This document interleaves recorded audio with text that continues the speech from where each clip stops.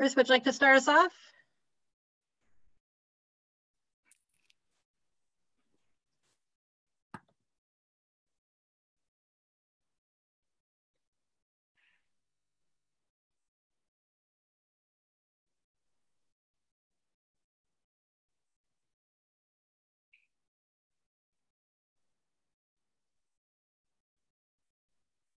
So I think Chris is having audio.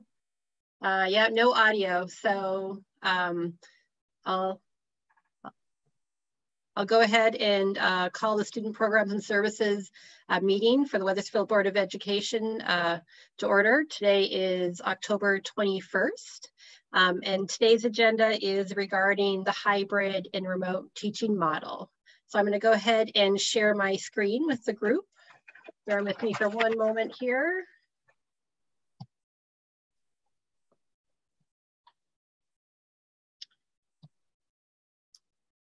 Are we good? Yep. So I'm just going to provide a little bit of a, a, short introduction just for a few minutes, and then I'm going to turn it over to some of our uh, guest teachers today to uh, share their experience. So uh, first of all, thank you everybody for joining us tonight for Student Programs and Services. I'm super excited to have seven teachers from across the district join us this evening to share their expertise and perspectives related to teaching in the hybrid model in which they are teaching remote learners along with learners physically present in their classroom. Teaching today is unlike anything we have ever asked our teachers to do. They are teaching into living rooms, into bedrooms, and engaging with students in new and innovative ways. So never ever did I imagine that we could engage and teach our youngest learners, including pre-K and kindergarten students, through video conferencing. Never ever did I imagine uh, the classroom culture would span across not only classrooms, but into living rooms in different homes across the district. Never ever did I imagine that parents in public schools could choose to have their child educated from home. And never ever did I imagine that we'd be having Board of Education meetings through Zoom. Uh, and never ever did I imagine that educators would be talking into computer screens for large parts of their day. So this is just a few of those crazy things that we never ever imagined um, and situations that we are making the best of it uh, for each and every day. So our educators have multiple degrees. However, as you know, uh, their degrees did not help prepare them to teach in a pandemic. That was not part of any syllabus outline ever. Our teachers have been absolutely stellar. Uh, they are innovative, resilient, and most importantly, they care deeply about the success of their students. Teaching during a pandemic, regardless of the model, is incredibly hard. And one of the hardest things is that it keeps on changing. As soon as we somewhat get comfortable with distance learning, we implement a hybrid model. And now we're looking at a full return of students with a certain percentage of parents who are still opting to have their child educated through full-time remote learning. As hard as it is each week and each day, it's incredibly hard. Our teachers have been the utmost professionals who are committed to doing what is best for our students. So in addition to uh, recognizing our teachers this evening, I also wanna thank our parents and our community for their support because we don't wanna underestimate the impact this pandemic has had on each and every one of us um, on our lives personally, our families, our students' lives, and the families, businesses, and community members. So before I turn it over to the high school teachers to get us started, I want to share with you a few of the essential questions I've asked the teachers to talk to this evening as they reflect on their teaching and learning in a hybrid model. They aren't going to discuss every essential question. Instead, uh, these are questions that really prompt um, thoughtful kind of dialogue and some examples that they're going to share from their particular classroom. So it's an overview of um, different elements of hybrid and remote learning. They're going to talk about um, ins uh, instructional practices that have been effective in their classroom. Um, engagement has been something that's incredibly important. It's how we engage students through um, the screen and video conferencing, but also in person. Um, developing that classroom community. I'm in awe of the feeling of a classroom community when students don't even step foot within that classroom and they're part of that classroom community. Um, as you know, uh, social emotional learning is a focus and some of them will share a little bit about supporting social emotional learning throughout the day. And overall, how's it going? What are the rewards? Because there are a lot of rewards, a lot of silver linings, but there's also challenges and we wanna recognize those also. So instead of starting today with introductions, I'm actually gonna ask each teacher to introduce themselves as we go through the agenda. Uh, but here's a little bit of a preview of our agenda and um, the teachers that are joining us this evening to speak about their grade level. Um, so we're actually going to start at the high school and work our way down to kindergarten um, today. So I'm gonna go ahead and turn over to Mark to get us started. Thank you, Sally. Um, I'm actually going to present my screen because in in trying to be the best teacher I possibly can, I actually went through the questions and kind of wrote down some answers for each one and put some documents on that I thought I could share with you all so that you could see sort of what I'm talking about.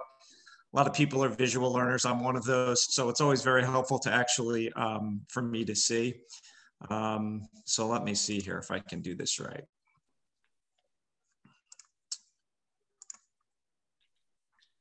Okay, you should be seeing uh, my document, correct?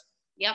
So let me just start by saying my name is Mark Pfister. Um, I've I've seen I've met and seen some of you before as board members. Uh, most recently, probably with the introduction of the film class, which I'm going to kind of use today as our as my example of things that I'm doing in the classroom. I've been teaching 24 years, and so many things that Sally said in that introduction are just so right on the money. Uh, I don't want to spend a lot of time reiterating those because um, I know there's a lot to talk about tonight. Uh, but it is certainly one of the more challenging years uh, I've had as a teacher. I, I came home the first week and a half and I said to my wife, I said, I think I feel like I'm beginning to beginning to teach all over again. Like that's sort of what it feels like. Um, it's just a whole new way of, of learning about things. And you know, I started with the idea of, okay, I'm going to try to do things the way I normally do them and then just adapt as it goes along. And I learned pretty quickly that that just doesn't work very well. Um, so I actually start all of my lessons now, or start planning all of my lessons now, thinking about the remote learners first and sort of start with, okay, how am I going to get all of them engaged? And then sort of work um, backwards from there. So I do have uh, my Google Classroom for my examples of the, the most effective um, instructional practices. Google Classroom is just so good in, for so many ways. And, uh, you know, all the teachers are using it right now. I do have my link there so you can see my actual film class, which looks like this.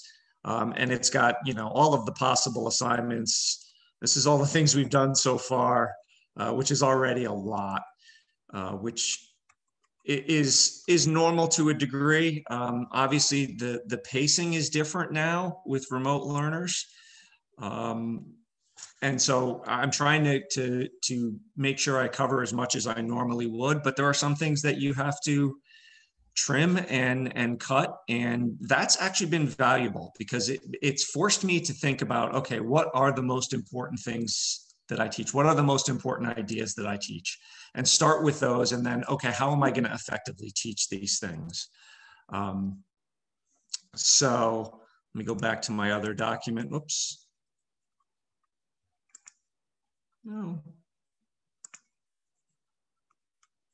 uh, hold on one second here there we go. Um, so Google Classroom, obviously very, very helpful.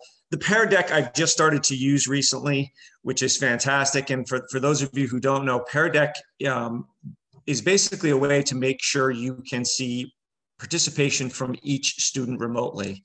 And they have to sort of participate in the lesson and you get a conversation going or some activity going and you can see who's participated and who hasn't and that's really almost i don't want to say foolproof but at least it guarantees that the kids that are remote are participating in some way and you can literally just chime into the kids and say Sally or Susie or whoever, you haven't participated yet. Can you please respond to this? Uh, and so you can literally see every single student responding in some way, which are which is great. The breakout rooms in uh, Google Meets now, I just used that for the first time. That's only about two weeks old. uh, that Google has developed that. And I just started using it this past week, and I just cannot say enough great things about it. It was the first time my kids got to talk to one another. And that is just so valuable for teenagers in high school. Uh, a lot of times they're more interested in what each other thinks than what I'm saying or what my opinions are. So I just used that this week and it was really cool. So I had some kids in a breakout room that were in front of me and they were in a room with kids who were remote. So it wasn't like all the remote kids were in one room and all the, the present students in front of me were in a different, it was mixed and matched. And what I had some of the students do is um, go out into the hallways so that they had some way of talking with those kids that were remote without the classroom being completely chaotic and people talking over one another and mics picking up people from one meet to another. Um, and it was great because they were socially responsible in the hallway. They sat across from each other in the hallway.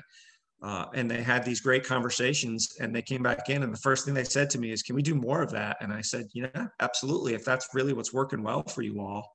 Um, it's just very valuable to hear students talk to one another again in a in a bigger setting than than we've had. Um, as all of you know sometimes i have somewhere between five kids in front of me and 12 and it's just a lot different having a classroom discussion when you have 24 kids who are able to, to talk to one another.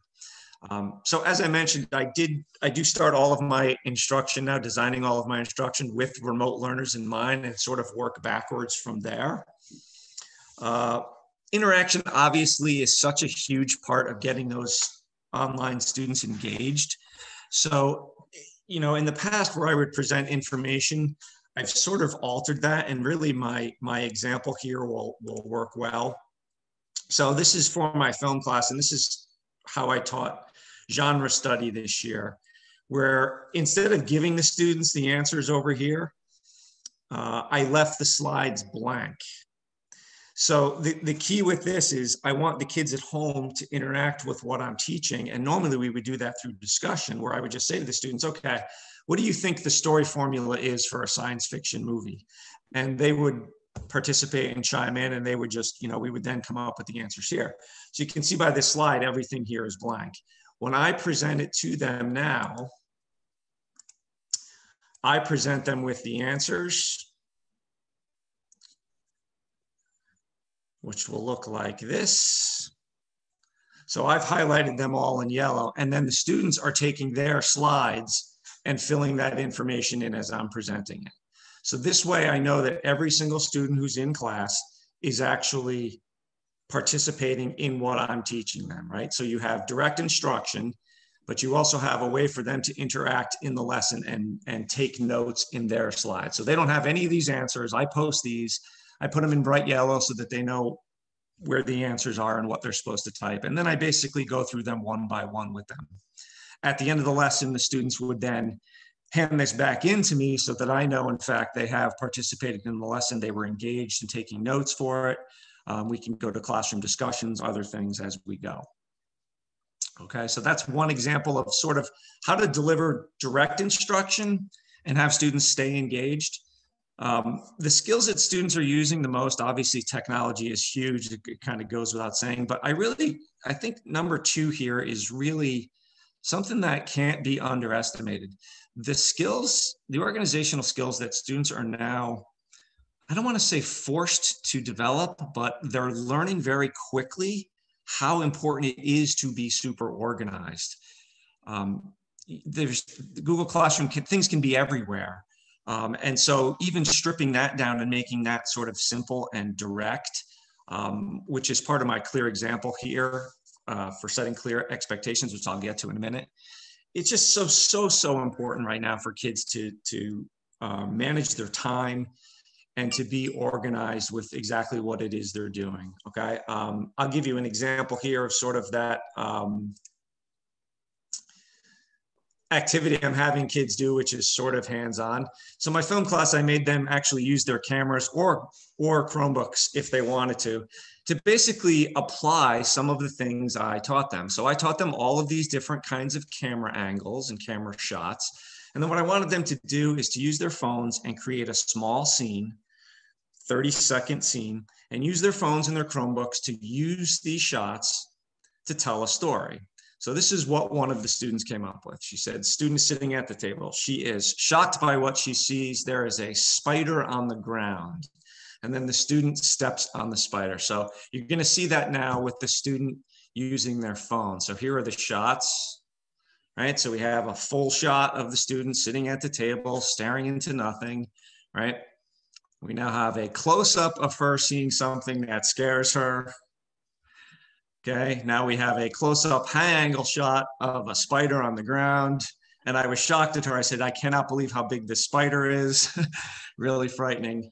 And then what's really creative here is we have the last shot of her stepping on the spider and it's from the spider's perspective. Okay, so where normally I would just have a classroom discussion about these things, I would have students take one or two shots. I really have to give them the time to show me application of knowledge. And that's really the, the biggest point right now, I think, in teaching. Students have all the information they need at their fingertips. If they don't know it, they can look it up in a second. So it really becomes okay, what are you going to do with that information, right? So a lot of people have professional jobs, you have to produce something. And that's really, I think, where we are right now in education. We have to have students produce things. Uh, performance tasks and performance assessments are really a great way of seeing kids apply things they've learned. And so you can see that in this example, right? You have a student creating something, just using her phone um, and creating a story there, right? So it's the beginning of maybe a film career for somebody. You know, maybe one of those students sees something like this and says, you know what, that was really fun today. And maybe I would think about making films, or maybe I'd think about applying to a film school or something like that. So it can be the beginning of something um, very valuable for the students. The strategies to motivate learners, uh, the, I think the most important one for me is to set clear expectations. I'm putting up my, what I'm calling my syllabus basically for my period seven class. And for me, I, I learned this last spring is that you just have to be as simple as you can about where students have to go to get their information for the day's lesson. So all I simply do is put up the date, I put up exactly what it is we're doing, just like a college syllabus would do. Um, you can see if I go down just a little bit. So what we do in class, right? So you have one and two here, things we did in class, and then you have their homework listed there. So for me, I'm simplifying for students so that they know every day, all I have to do is go to today on the schedule, the work that I, I need will be right there for me. It's actually in a link for them. So they can just click on that. Whatever it is comes right up for them. Everything in one spot. All right. And I, I this is, again, one of those things I found out this past spring, which was just that um, Google Classroom pages can get really uh, congested pretty quickly. And then it leads to confusion for students on where to hand things in, where am I going for today's assignment. So students now know for me, they're just going to start at the syllabus every day. We go to that day and we basically go from there. Um, the last thing I would talk about, oops, back to the, oops. Um, the last thing I would really talk about is um, the social emotional learning piece. Uh, and it was, it's really interesting. Uh, I found a, a really good uh, Pear Deck just specifically about that, which is really interesting. But I wanted to just talk anecdotally about uh, one of my students who um, comes from a very abusive background. She's new to Wethersfield. She's only been in town for a couple of months. And um, she's petrified of being on camera. And this lesson that I just showed you, where she had to take pictures, was quite a challenge for her. And she really, she she sort of freaked out at the beginning of it. And she's like, Mr. Pfister, I don't want anybody to see my face. I don't want to take pictures of me. And I said, that's fine. I said, let's, let's talk about this at some point. And she said, all right, can we talk through email? And I said, well, we can talk through email, but I think it's important that you see me and hear my voice and see my facial expressions because I don't want you to feel like this is a, a high pressure situation. So I said to her, can we make a deal? I said, you can keep your, your camera off and I'll keep mine on and I'll walk you through this and we can just talk. I just felt like it was super important for her to see tone of voice, to see facial expression. I'm often fearful that emails can have a tone that you don't intend And so for me, it was really important that she see my face and that we be able to talk live. So I met her during my office hours on Wednesday. Um, this was last week. And I just walked her through the assignment. I said, look, here's what you can do. You can use your, your phone to take pictures of things in your house, like uh, your mom or your dad to see if they want to help your brothers or sisters, or you can use your pets, or you could just use objects. So if you're fearful of putting your face in something, all you really need to do is take a picture of maybe your hands on the keyboard so that people aren't seeing your face. I'm still seeing uh, understanding of the material of the content, right? Where I would see a close-up shot of her hands on the keyboard. Um, and that sort of disarmed her. And she's like, "Oh, I can do that. That's not that hard." And I said, "Good. You know, if if if you have any problems, feel free to to let me know, and we can continue to alter it and and modify it." And um, but I, I just didn't think it was i thought it was really important for her not to just be excused from this assignment just because she's afraid of you know showing her face on or taking a picture of herself um, so it, that's a real example of how to really address the social emotional aspect of all of this it is overwhelming for a lot of students it's overwhelming for a lot of adults uh, i don't think i've been this stressed since my first or second year teaching uh, it's hard. I'm exhausted at the end of the week in ways that I've, you know, never been, or at least not for a long, long time teaching.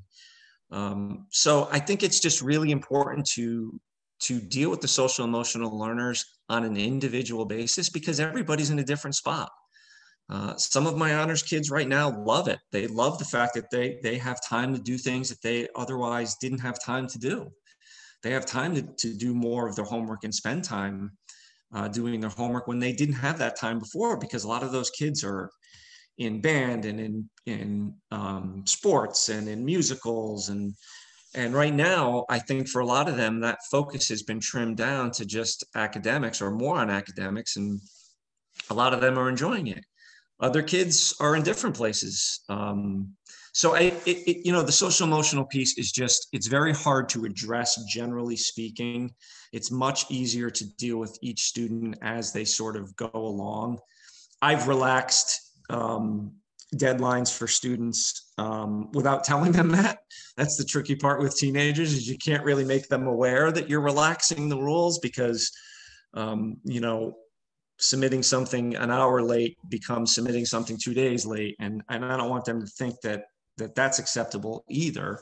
Because as a, you know in the business world even though things are different right now there are still deadlines for people to make. So um, but things like that are just a gentle way of keeping students engaged uh, motivated and um, sort of showing that you you care about what they're going through what we're all going through but what they're going through specifically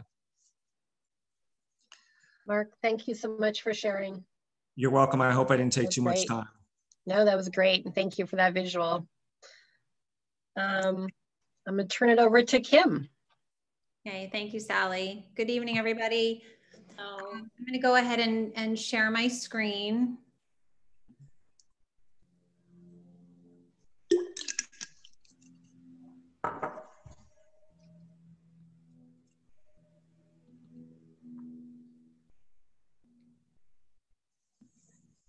Is everybody able to see my screen? I was. Okay, yep. You can, yes, we're yep, good. You look yep. good. Okay, I'm just gonna go ahead and present. Okay, well, good evening, everybody. I'm Kimberly Troy. I am a science teacher at the high school. I teach AP chemistry and um, level one chemistry this year. And I am um, happy to be able to share some of the strategies I've been using in my classroom to still forge ahead despite all the things that we're dealing with. Um, I focused on how I create uh, a classroom community in which um, all my students aren't physically present because this has been something that I really had to think about at length when school started because so much of my practice prior to the pandemic was a sense of a community of learners um, based on my background and my, my past practice as a scientist. So um, I first want to start talking a little bit about um, the learning environment that we were faced with, you know, turning or returning to school in in the um, the end of August. and the fact that my priority was really the same you know how can i provide high quality instruction to my students um, a community of learners when physically um, kids aren't going to be there all at the same time um, so i have a background 15 years of teaching and prior to that i was a scientist for five years prior to going into teaching so i found myself really returning to some of those core practices from when i was working in the lab you know, when we were constantly faced with variables. You know, this science experiment didn't work, so what did you do? And I kind of started to look at my practice and think about how can I engage my students in a synchronous model? Um, how can I maintain a community in which students are have a feeling of being together when they're not physically together, knowing that I would have a number of students on the computer and I would have a number of students present in class with me, and then I would have some students that were remote the whole time how can I maintain a collaborative environment? Because as Mark was saying earlier, so much of my practice is about engaging students in conversation and discourse. You know, I am a huge advocate of conversation. I'm a huge advocate of them seeing me. You know, obviously that's easy when they're physically there with me, but when they're on the other side of a computer or you have students that are always remote, seeing me all the time, you know, every day is really important that they see me, they talk to me, they can ask me a question, but even just hear me and hear my voice is, is really important to our learners in maintaining that consistency. But not only that, that they can collaborate with each other. Um, so I have a, a picture here that um, some of you might be wondering, you know, why is there a sunflower here? Um, you know, from biology class, if you can remember kind of a way back, you know, so much we talk about is uh, characteristics of life and that we're all living, you know, and that we're humans, but there are obviously other living things. And my biology students last year and then chemistry students this year um, would have had practice in characteristics of life. And they would understand that one of those characteristics is the ability to respond to your environment. And that essentially we as living things have to essentially adapt to differences. So when my students return to school, um, as I often do in, in making connections to, to you know real life, we started to talk about the fact that my priority is still the same to engage them as a community, but that we were going to have to change the way in which we get there. We're going to have to just make slight changes to our practices. So um, this slide just kind of gives you an overview of some of the instructional strategies that I've been using this year. And um, some of them I've adapted before or um, after August simply because of you know what I learned. Um, Mark was talking about the breakout rooms with um, Google Meet. So back in August, when we returned, um, one of my practices, huge part of my practices is labs inquiry. Um, oftentimes you'll find my community of learners um, not always doing the same things at the same time. You know, my classroom is very active. The kids are very fluid. They're moving around the room. They're engaging in different activities together, separately, just depending on their needs. So one of the first questions I had was, how am I going to maintain that community engagement when I have some kids at home and some kids in the class? So I kind of looked at it and, and, thought about it and, and developed um, Google Meets as a whole class um, and then Google Meets um, with cohorts. So I've been using that since the end of August. Um, I established cohort groupings um, to basically simulate labs um, right, at, right from the beginning. I had student groupings of kids in class with kids at home so that when they did labs, there were kids now on the bench, you have not only a student with you, but you have a student from home or two students from home that are also engaged. Um, so I found that that was a way that I could still engage the students in inquiry, um, but instead of having them all together in a lab opposite each other, I have a combination. Um, so I would start the class typically as a whole class Google Meet. And then at this point, the kids have um, adapted to those uh, classroom transitions pretty well and they're able to transition between the whole class with warm-ups. Um, sometimes we'll engage in a brief warm-up or a longer warm-up depending on what we're doing. Um, they'll pop into their breakout rooms. Um, I stay on the whole class Google Meet the whole time. I walk around with my computer. Sometimes I put it on a cart. Sometimes I walk around with it so that the kids can pop back into whole class meet if they have to ask me a question. So I've kind of tried to, you know, emulate what I used to do, but I'm just using the technology um, to adapt, you know, and the kids have gotten used to it, as have I. Um, we've had some glitches with techno with the um, internet sometimes, um, but that's really been sorted out. So I find that it's been pretty fluid um, as of recently, the past month or so. So that's been working pretty well. Um, in terms of the small group meets, I can't say enough about the importance of that. And again, Mark spoke to that earlier, the fact that the kids have access to each other, you know, and, and that's really, really important for our students for the social emotional learning piece, you know, that they have an opportunity to engage with their friends and engage with their peers. Um, not just about seeing me, but being able to engage with each other, um, to analyze data, to ask a question, you know, what did you get for this or what did you get for that? What do you think about this answer? Um, that's been huge to my practice and, and I feel better about where I am um, knowing that that's been working. Um, formative assessments have been a huge part of this year. Um, not that I didn't use them before, but just in terms of student progress and checking in.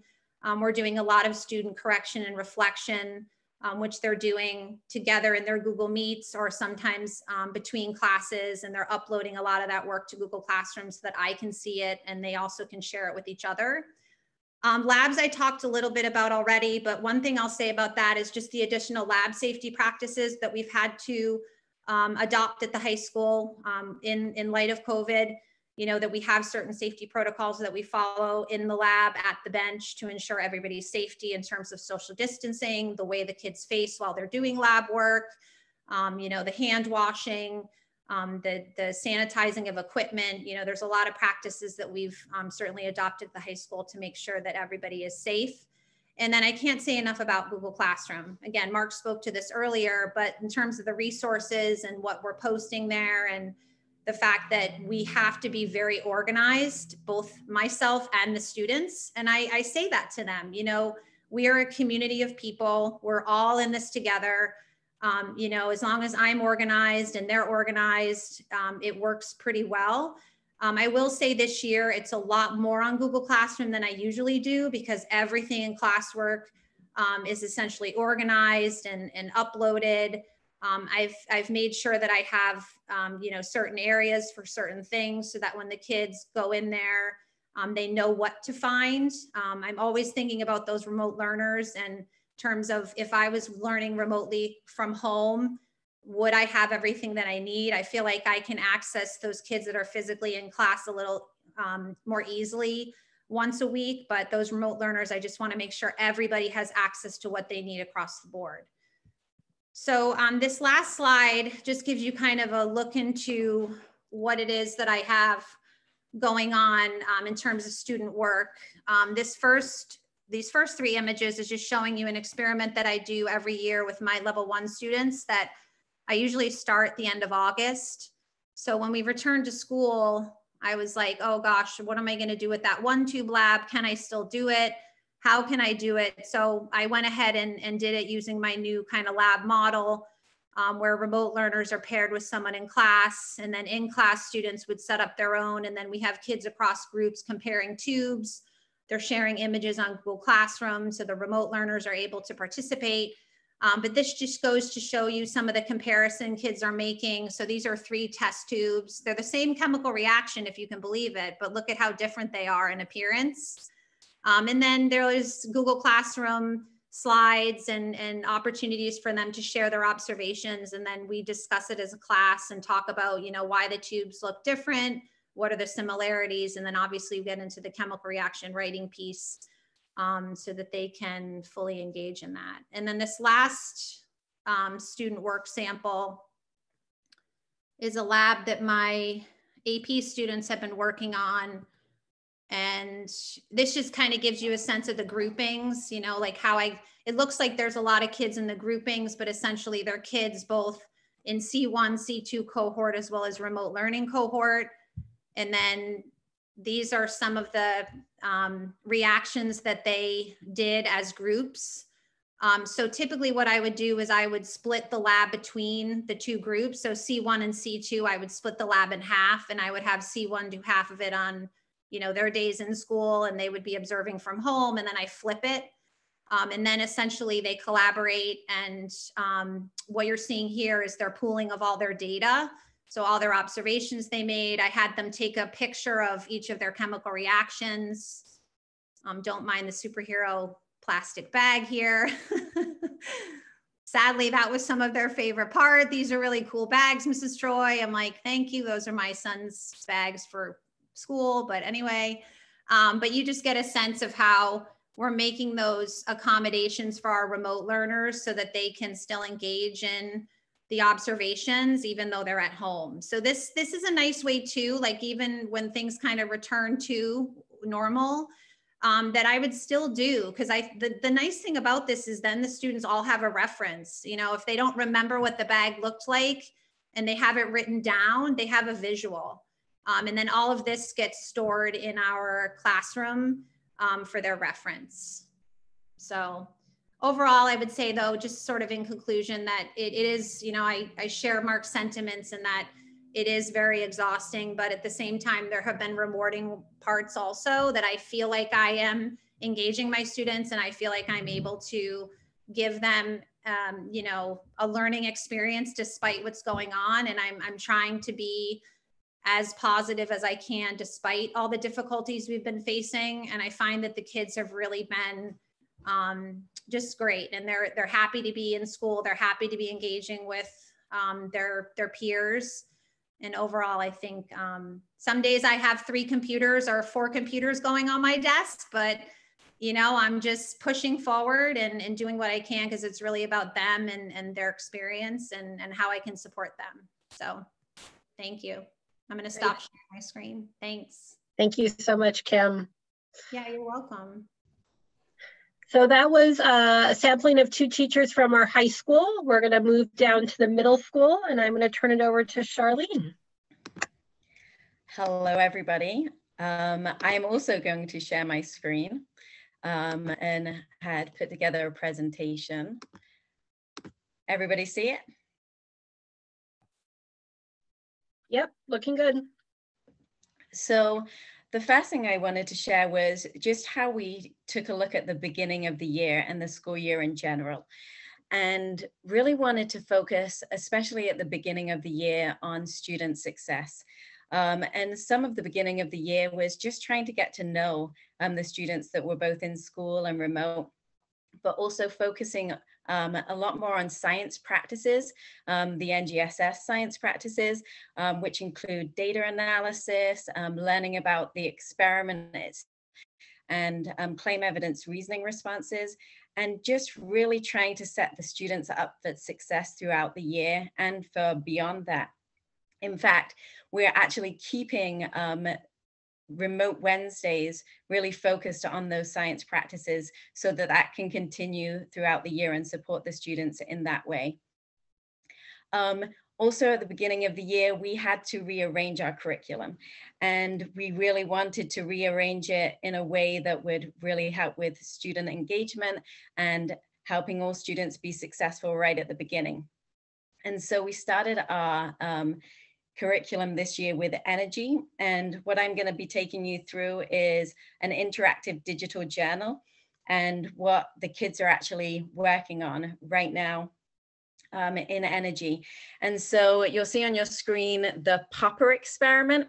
And something we wanted to ensure was to make sure students still were able to do hands-on activities and labs.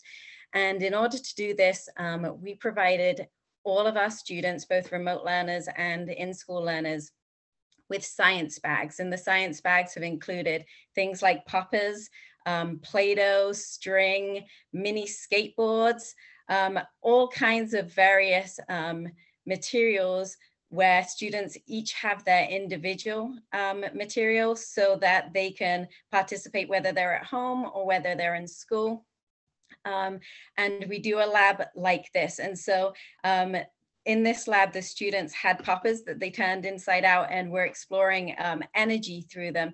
And both at home and in school, they had a great time um, exploring these poppers. And um, it was really great because we wanted so much the kids to be able to still do hands-on learning. We didn't want everything to be on the computer um, because I think to some extent the um, students are getting kind of computed out. Um, and so this was a way to do that. Um, the great thing about this is both remote learners and students in class can both actively be engaged in this. The challenge of this is um, resources. Um, instead of buying class sets of things, we bought um, one for each and every individual learner.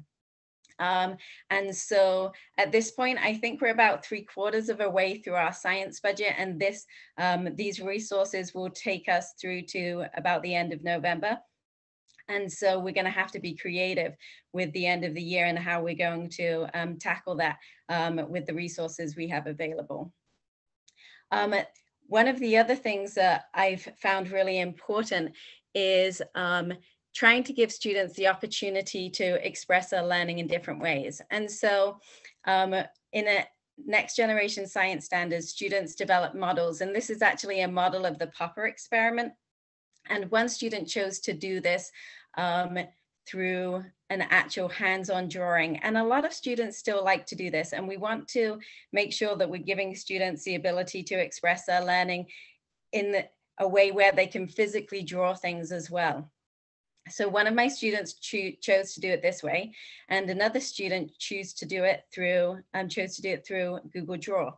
And so really trying to provide those options for students so they can express their learning in different ways is really important and letting them still sometimes do um, physical drawings of things versus it all being um, through technology. Another way that we want um, students to be able to access um, their learning in different ways. And so one of the ways we engage students is through videos. And so um, this is an example of, um, there's a link here to a BrainPop video and students are taking notes. Now, what's nice about this is it's actually scaffolded for them. So it helps them in the beginning of the year with um, note taking.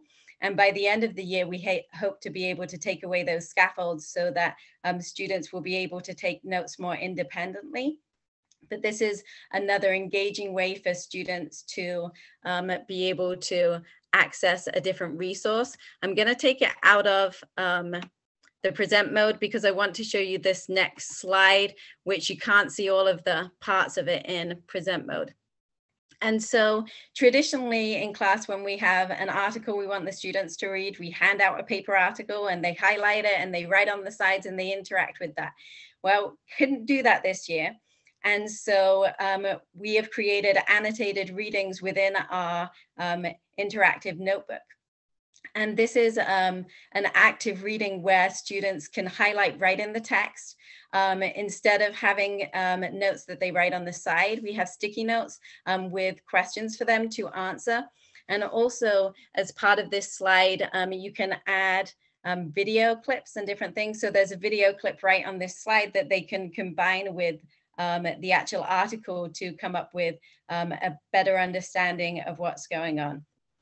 Um, so that's another way for them to, the students to access the learning in different ways and make sure it's accessible both for the hybrid learner and for um, the remote learner and the um, in-class learner.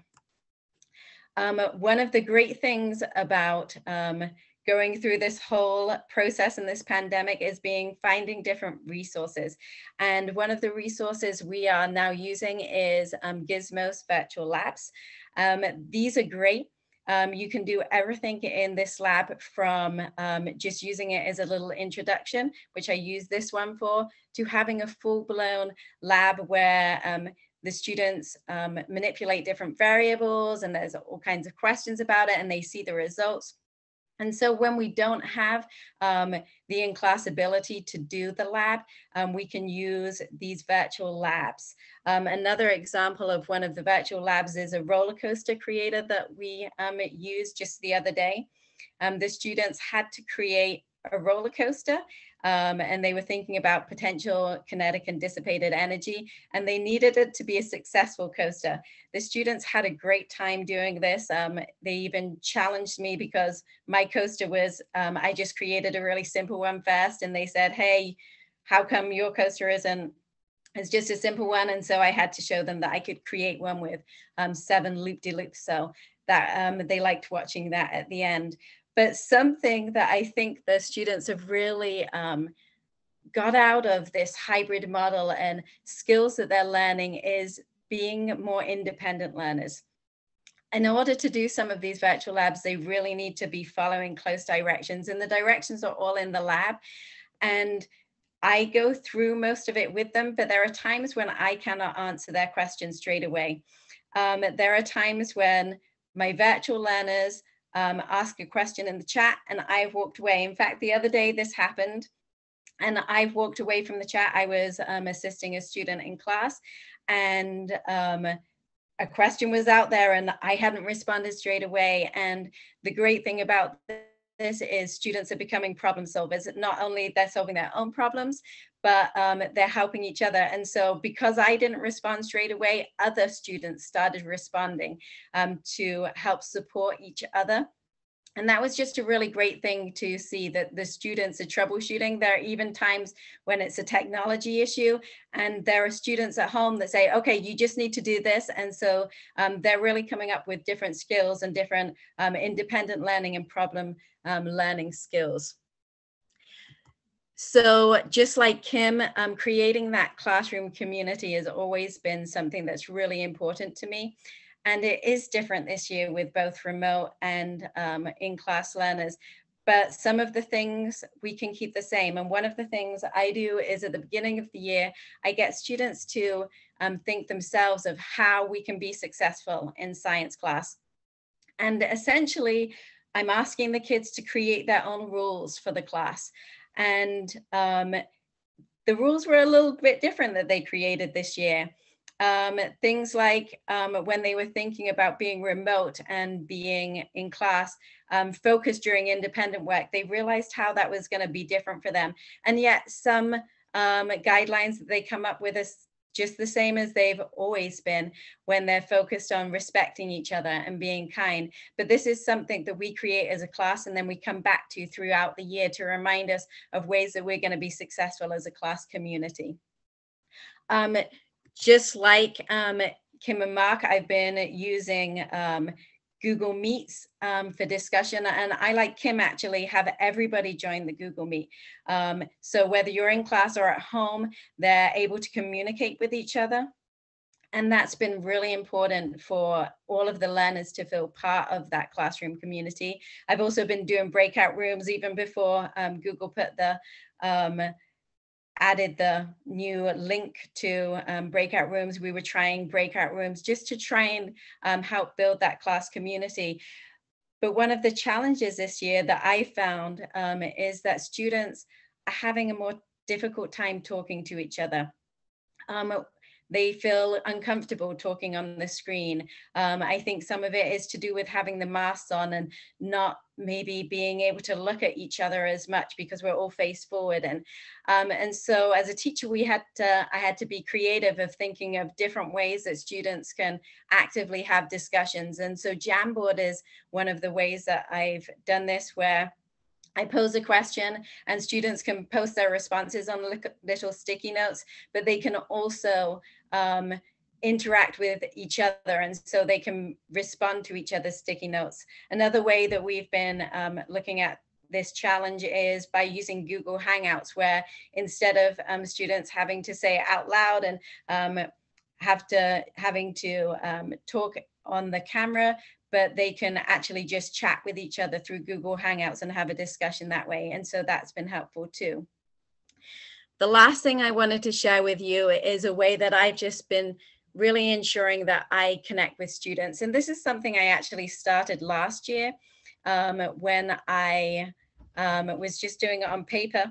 And it's something I like, I like to call the chat box. And it's a way for students to um, let me know how they're doing and um, sharing something um, with me. They can share anything they would like and a lot of times it's something about their weekend, um, but sometimes it's something they're finding challenging um, or something that they're struggling with. And it's a way for them to kind of share that with me that they don't have to say it out loud in class. And then um, I adapted this for, um, for the digital version where they could tell me if they wanted me to check in with them. And so I gave them options that I could check in with them via email. I could check in with them in person if they were cohort one or cohort two. And then they could say they didn't want me to check in with them. And when we were completely remote, I there was also an option for checking in with them um, through Google Meet. And so I'm just this is my way um, to connect with kids and just really ensure that they're doing okay in in another way in a way where they can just say it without anybody else um, seeing it or knowing that maybe they're having a tough time with something um, and so when thinking of the hybrid model um, i like um, Kim and Mark um, also think it's exhausting. I I've gone home and been like, I have nothing left today. Um, but the main focus for us is really creating an engaging environment for students where they can be successful and where they can still explore different science concepts and um, really grow to love science and creating that strong classroom community. Charlene, thank you so much. That's great. Um, I'm going to turn over to Rochelle next. Hello, everybody. Uh, my name is Rochelle Efland. I teach French and Spanish at Silas Deane Middle School with Charlene. And I'm going to talk to you a little bit about what remote learning looks like for me in world language, which um, is a little bit of a different area to navigate um, because, as Charlene was saying, the kids are reticent to talk to one another. And that is basically 100% of what I teach talking in a different language. So we're going to look at what that looks like. I want to try something with you. Um, so if you'd indulge me, I will present my screen. However, um, I wanted to use the tech that I'm using with the kids. So I'm going to put a link here in the chat. And if you just click on it, I think it'll work. I don't know actually if it'll work for everybody because I'm not clear on whether or not it'll work if you don't have a Google email or a Microsoft Outlook email but give it a try. If it doesn't work, I'll still project it and everyone can see it.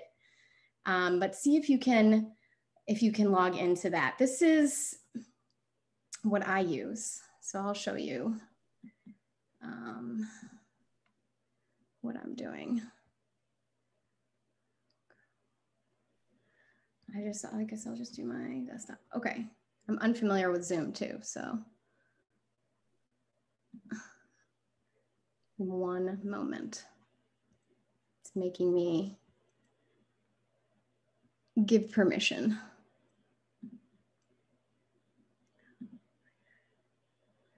Oh, zoot. Oh, okay. All right, so that should do it. Let's see. All right, is my screen sharing now? No, not yet. Okay. I'm sorry. That's okay. This is a great model of what happens in our classrooms every day. So don't be sorry. This is a problem solving in action. There you go. It's up. Okay. So that's what my screen looks like. And then I will have, if you were in my class, I would have this secret screen happening. Thank you, Sally, by the way. you're 100% right. This is exactly what happens every day. Um, I have a secret screen going and shows me, uh, this is my teacher dash dashboard. This app is called Pear Deck, and I'll talk about it in a second. But um, this is my secret screen that the students don't see. And I can see that I have nine people in here, which is awesome. Okay, so welcome to Pear Deck. This is what I use every day with my kids. All right, so it looks just like Google Slides for now, but you'll see. So first, I just wanted to talk about, um, I already did really a little bit, what class used to be like in world language and what it is now. I'm sure you can all imagine. They used to be, you know, pretty much on top of each other, doing dialogues, role plays, really dynamic stuff. And now we are prioritizing safety and kids are facing forward with masks and they're shy. And so it's all about how to break through that shell and engage them in we have to be creative. So Pear Deck is one way that I'm finding to do that. I'm able to deliver instruction like I'm doing right now. I have this presentation and I'm in control of it and you're kind of my prisoner because it moves through and you can't go ahead and you can't go back. So that's teacher paced. And then I can do skill practice with the kids too, where they can do it independently, either in class or at home. And um, I can see everything that they do, which is amazing. So we're gonna try it. Oh, I feel like I skipped a slide. One second. Oh, it did, but that's okay. Oh, there, see, there it is. Let me show you what I mean. Here we go. So here's an example of what Pear Deck can do. It asks you a question. What percentage of the world does not speak English? And it's a multiple choice question. So if you have Pear Deck pulled up right now, you can answer, you can answer that. So go ahead and put what you think. And then I can show what everyone has said. I can show the class. So most people think 50%. Two people have, three people have, four people have. Oh boy, this is pretty close. Nobody at 90%. The correct answer is 75%. Congratulations to those of you who got it. Oh, good. Here's a different type of question I can ask the kids. In Connecticut, which country is number one for exports? Drag the dot to tell me, is it Mexico or is it France? And then we'll see what you said.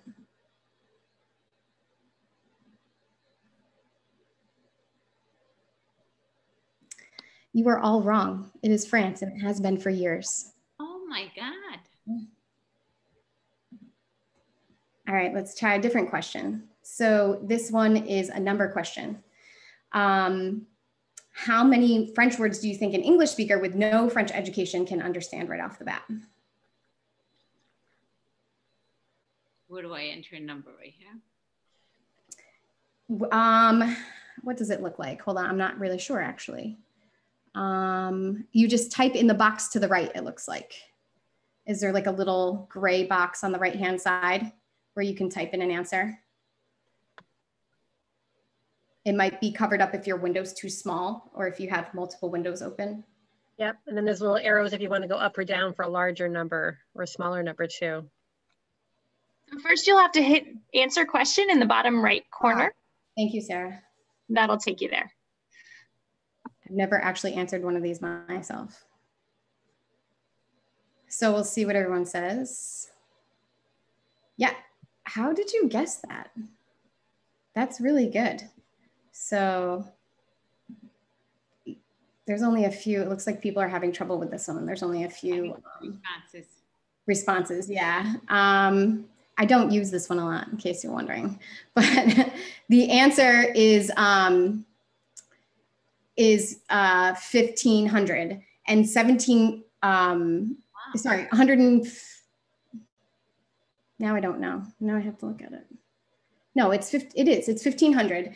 And um, there's actually 1700 words that are identical to English, which is incredible to think about. All right, let's try another one that's easier to use. Well, this is, your responses might be really interesting. So here's an example of what I'm just talking about. A lot of French words look like English words. This is the French word une carotte. You might not have taken French before, but you can probably guess what that is. Draw what you think that is on the screen.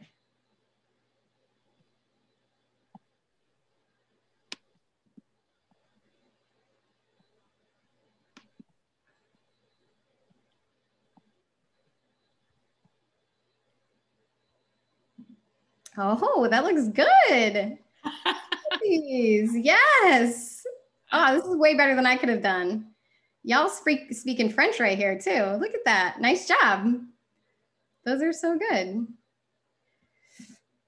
Oh, I just hit the wrong thing. Hide responses. Okay. Um, in which field, for example, culinary business sports, is French one of the top four languages used? And there, there's a hint in the picture, but take a guess. Type in your answer. Oh, type in your answer. Where do I type? Type in my answer. I think it's the same as the multiple choice one. There's like a little bar to the right that you should be able to type in. Now, if we were in school, Bobby, I would be looking at Go Guardian and I would look at your screen and I would tell you exactly what to do. Okay, that's home. business, sports, culinary, business, business, business, culinary. Culinary is a very good guess, but it is actually business. wow. um, one of the top four, and the you might want to know what the other ones are. And I have that here. The others are English, of course, Mandarin, and Arabic. Those are the Mhm. top four languages to know if you are going to be in business, probably surprised you. Okay, so, oh, bag it up. So anyway, that's that's the interactive part of my presentation today. I use Pear, that was a really simplified version of how I use Pear Deck. I use Pear Deck almost every day with my kids um, because I can give them pointed feedback either uh, in the app, there's a feedback function that is specific and private where I can type what I like. Um, they get a record of what their responses were after emailed to them. It's called takeaways. Um, and I just uh, discovered yesterday that there's a whole vocabulary learning collaborative flashcard function as well. So um, this is really the best way I found to engage kids. There's these other things that I've been using as well too. Bingo Baker, Edpuzzle, Educandy, Voice Recorder, Flipgrid. These are all ways that I'm getting kids to um, interact with language and use language. Flipgrid and Voice Recorder are um, two recording devices. Flipgrid records your face and your voice, and Voice Recorder is just your voice. And that's the best way I found to um, get kids at home to talk and to hear them and give them feedback about how they're talking.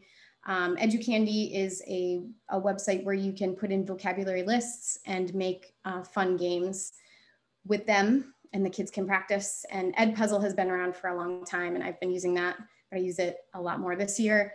It's YouTube videos and you can um, insert questions that kids answer and they can go back and rewatch and rewatch as much as they want until they understand and then you can review what they've put and you can give them feedback and then you can use it as fodder for the next lesson to talk about misunderstandings. It's all it's all really good stuff. But none of that really is collaborative. None of that is really how are my kids in class connecting with the kids at home which is um, or connecting with each other um, which is huge which is huge because in middle school which i didn't know prior to coming to middle school i was a high school teacher for seven years before joining sdms um, those kids didn't like so much working together, but middle school kids thrive. They really like their life source is drained when they don't get to interact with each other. So, um, you know, this is what it used to like look like on the left collaboration and on the right, this is what it looks like now. I know that doesn't, it's just in computers, but let me show you what we're doing in eighth grade. So every year we start with, an, with a review project and um, the kids take a, a, vocab set and a grammar term from last year and they reteach it to the class.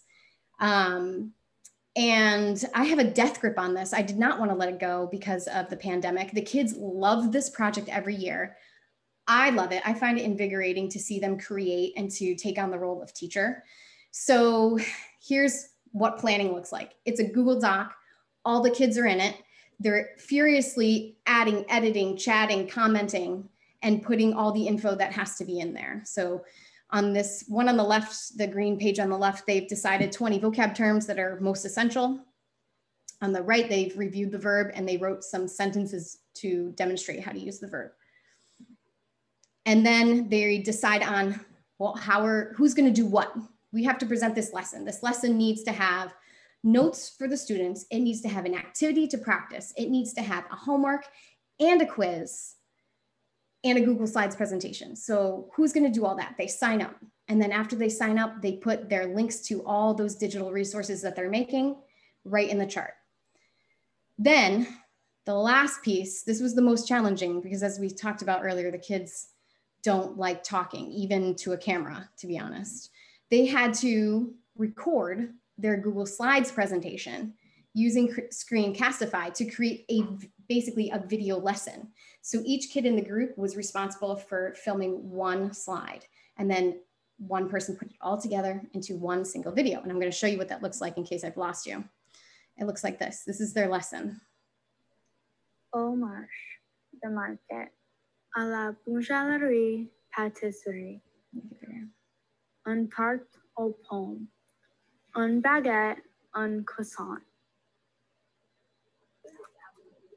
À la bouchère, du pork, du bœuf, du poulet, un steak. All right, so it's not terribly entertaining, but they made this. They made this together, kids at home, kids in class. And I'm really impressed with the work that they've done.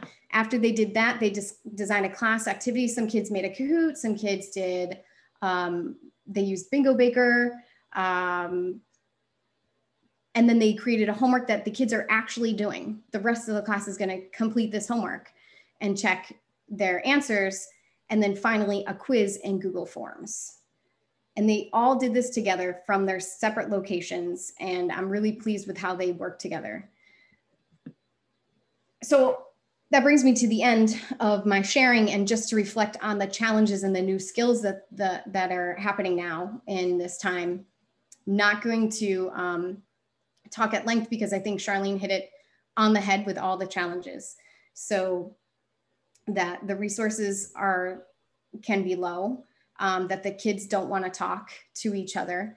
In world language, of course, um, all the talking that we need to do and that we can't do face to face is really a struggle. Helping helping the kids get over their reticence to speak. Um, another challenge I'm finding that I haven't heard any men- anyone mention yet is helping kids.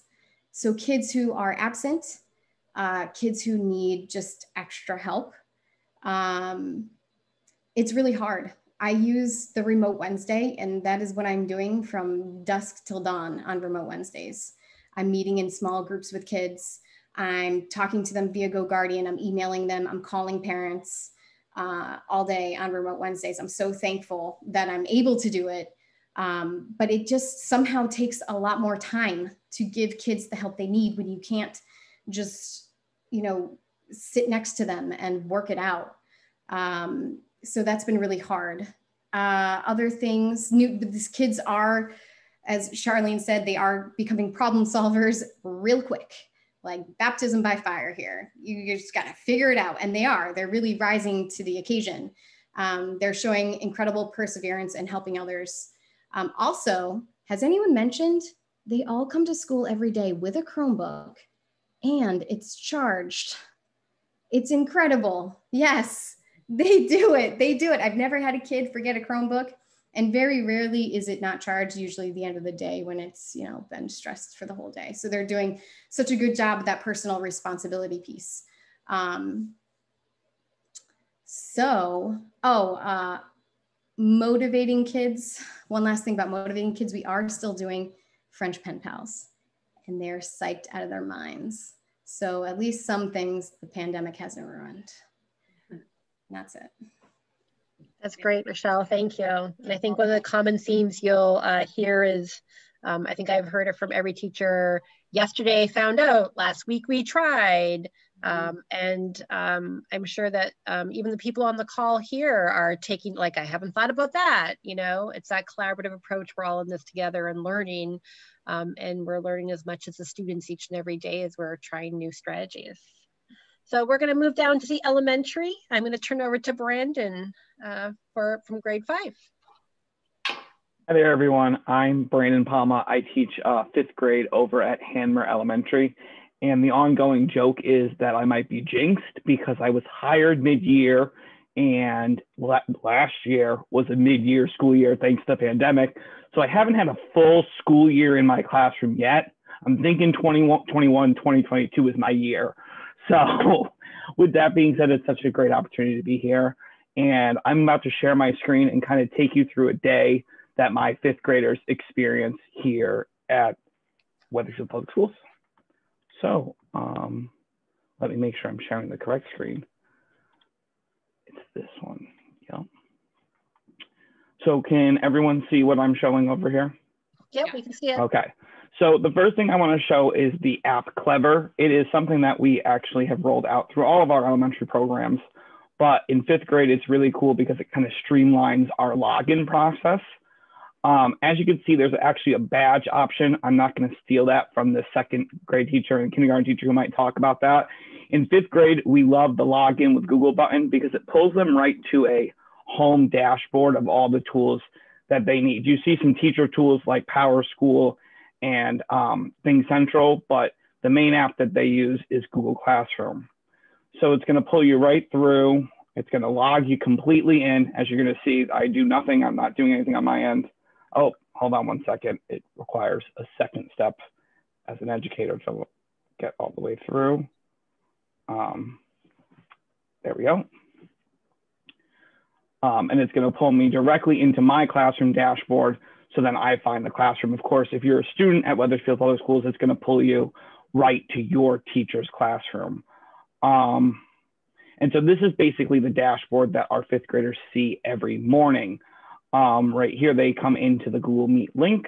But what I really want to showcase is our classwork page. I know Mark touched upon this, is that the, the importance of organization is so key to Google Classroom being used effectively. So in fifth grade, I really quickly realized that they love emojis. They are addicted to anything and everything emoji.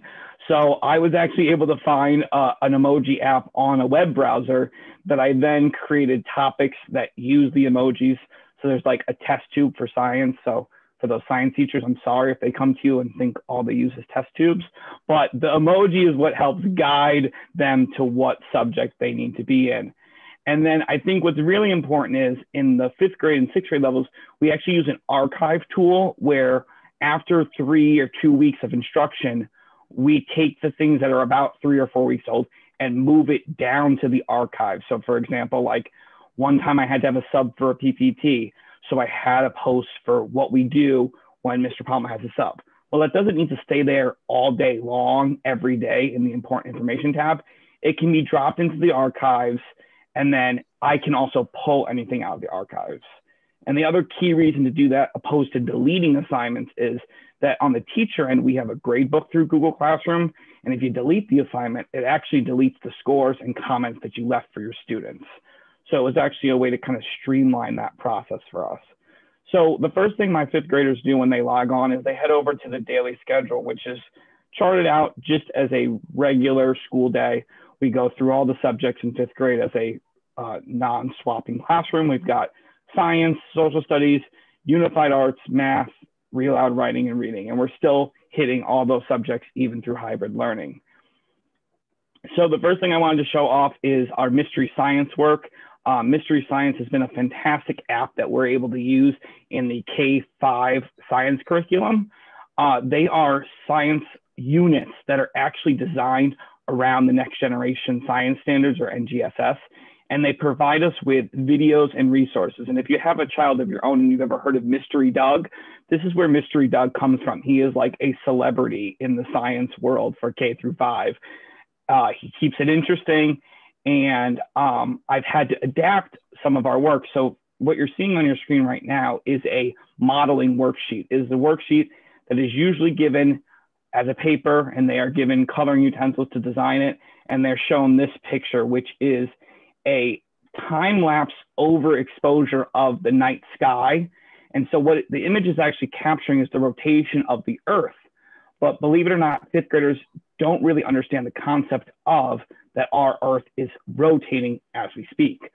So we get comments as like that someone is sitting there spinning the camera lens at really fast to capture the stars spinning, or someone's holding the tripod and they're spinning around with their body to capture this image.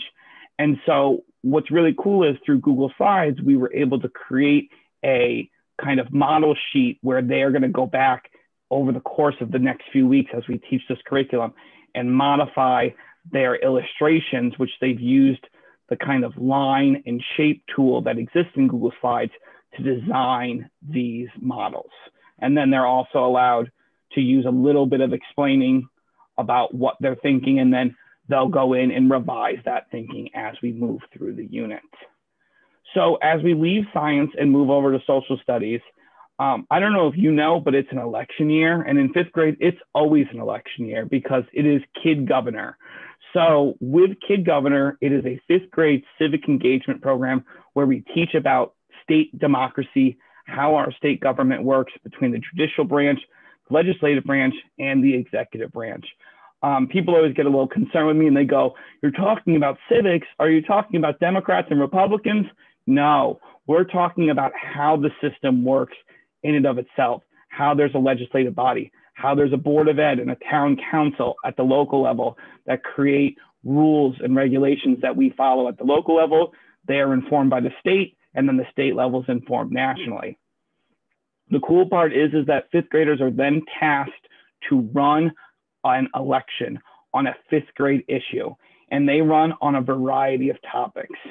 Now, typically pre-COVID, we would hold a primary if more than one student in fifth grade wants to run for kid governor because each school in our district is allowed to send forth one candidate to be elected at the state level to be Connecticut's state kid governor. This year, we had about 15 candidates, and we had to host our first ever virtual live primary. So, of course, I struggled with how do you present a primary to kids who are both in the classroom and at home. And that's where Flipgrid came in. So as you can see, I'm the moderator, so I'm right here. But I do want to take you to our friend Dina from Mrs. Vicente's class at my school, who is our candidate that we're submitting tomorrow. And you can take a look at her video now. Oh, where's the audio? Is there something special I have to do to play audio through Zoom?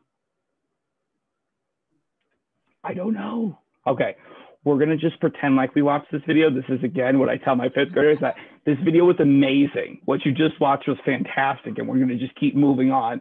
But there are 15 kid governor candidates here, and Adina is running on racism and Black Lives Matter, and she's created a platform to help support people of color in our community. And she's submitting her video tomorrow, and we'll find out next week if she is one of the seven candidates from the state. We're running against about 30 towns so there's usually only about, there's a, a slim chance that we get in, but we always put forth a candidate. So we're very excited to see what happens. So now as we move forward in our subject list, we head over to math. So with math, we use our Go Math software, which is fantastic and allows our fifth graders to learn and think about math in many different ways. What I was tasked with was the hurdle of being able to look at 20 math books with only having half of my students in front of me. So what I decided to create was a Google form that would allow them, if this computer will allow me, to submit their name, provide an image, and I actually found a helpful YouTube video on how to take a picture with a Chromebook, and submit an image and also some of their possible answers that they found in the math book. So that way I can quickly check in on their math work through the use of Google Forms and see what their answers were and where there might have been some confusion. So right now you can see all my students' names. If I click on any of these, they'll actually bring me directly to an image of that student's work. And then um, if I can go back, then I can see, oh, look at that. 12 of my 18 students were able to realize that the answer was 168. Sometimes Google Forms gets a little tricky and same answer, but different lines. And then, oh boy, I got to go talk to this student who thought it was 1686. And that's just a way to quickly check in on the student's work. So then we continue on moving down the line and we head over to writing. And uh, we were very lucky to purchase our Heinemann virtual resources. Um, Heinemann is our readers and writers workshop team that has made a fantastic curriculum and actually create videos that we can stream from the classroom to our students' home and to our students in the classroom. And they're instructional videos that we kind of partner with, where they're delivering some of the curriculum that we teach in Readers and Writers Workshop. And then we find opportunities to pause and do guided practice and gradual release of the work. So you'll see right here that I provide my students with a link to the video, as well as a username and password that lets them log right into the video if they're having streaming issues. Because as we know, some of our students have the best internet in Wethersfield, and some of our students have internet that really causes them to struggle. So providing them equitable access to the videos was something I really focused on this school year. Um, and then as we move from writing over to reading, we have a variety of tools in Google Classroom, and I'm also about to show you some Padlet tools as well. Uh, this is the questioning tool in Google Classroom. So as you can see right up here, I provided them a prediction question. Something was happening in the book. Everyone was heading to Portland Street they knew something was going to go down and I was asking them, what's going to happen next? And so then you can see, and the students can see on their end as well, the uh, responses that their peers gave to this question. And you can see that they're thinking that the main character is going to return, the trophy that he has stolen, and some of his friends are going to block him and kind of take him away. And as you can see over here, I'm allowed to also provide a score and provide feedback. Um, we have also been using Padlet. You know, we still need to provide our students access to text. And something in fifth grade that we've always done is kind of review the book for each other and tell each other, oh my goodness, I'm reading Restart by Gordon Korman. It's the best book ever. You need to pick up this book tomorrow. Well, we can't do that when only half of us are in the classroom and the other half are at home. So what I've created through Padlet is kind of just a database of reviews. So you can see my students were reviewing the Read Aloud Restart. They all gave it a certain amount of stars. And then um, as we move through our independent reading books and our author studies, they're going in and rating their books. As you can see, my friend Hannah and Marissa just gave some ratings a couple days ago as they finished their first author study book. So it gives them a chance to chat with their friends and their friends even have an opportunity to comment, like, or, you know, even respectfully disagree with their review of the books that they are reading. Um, with Padlet, we have been given a lot of opportunities to create other formats. So, you know, my students love to text. They text all the time. They use the Google Meet chat to text one another. So I've created software that allows them to communicate with each other through Padlet. Um, and with social emotional learning, we started off the school year in fifth grade really talking about that healthy mind and that healthy body leading to a healthy life, even in the pandemic. So on the first day of school, we were able to observe some pictures and talk about what are three ways that when you're feeling rough, if you're feeling frustrated, you're feeling depressed, you're feeling upset, what are three things that you can do to help you get back on track? And some students said, talk to someone you trust, be calm, know how you feel. Some students said, um, kind of found some information. When you get stressed, adrenaline goes to your heart and makes it beat faster. Uh, try to ask a parent or a friend to calm you down and really focusing on that, you know, resilience and perseverance that is key in hybrid learning and in any kind of learning. And then finally, I just wanted to show you, especially since it is an asynchronous Wednesday, that differentiation, even for our 504 and IEP students, is key. So I was noticing right at the beginning of the school year that some of my students were struggling to find the assignments or know what work was ahead of them. And the other thing that fifth graders didn't really like doing was hitting that submit button. So I had to figure out a way to say, hey, you finished the work.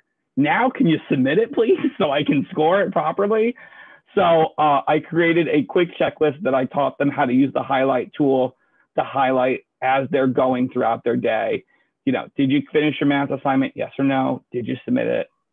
Did you listen to the first chapter Wednesday? Yes or no? First chapter Wednesday is where we expose a book title by reading the first chapter and then offering it to all of our fifth graders to read from our libraries. And then you would get dismissed and you'd get to go off and either work on some fifth grade homework or enjoy your afternoon. And that's pretty much all I have to share for fifth grade. So thank you. Great. Thank you so much, Brandon. That was great. So we're continuing to go younger and younger, and uh, I'm going to turn it over to Kathy. Uh, awesome. Hi, everyone. I'm Kathy Zillahy. I'm second grade teacher at Charles Wright. Um, a lot of what Brandon said, believe it or not, overlaps with what I do. So, you know, in the interest in time, and um, I'm going to not talk about clever or um, some of the other things he said. Like the, I was thinking about the TC amazing resources that we have that we completely have been implementing in second grade as well. I thought what I would talk about is well, some of some of second grade's challenges have been that everything's brand new this year because second graders typically don't work with Chromebooks until about mid second grade year. That's when we introduce typing training and we introduce the Google Suite bit by bit. But because of the nature of being hybrid, um, we started second grade with Chromebooks. So that required a lot of social emotional learning with deep breathing and a lot of talk with productive struggle. And our mantra in our classroom this year is we can do hard things. And whenever the children seem to feel overwhelmed, or if I have a signal drop. Or if they say, Mrs. Ilhi, you're frozen, we all say, we can do hard things.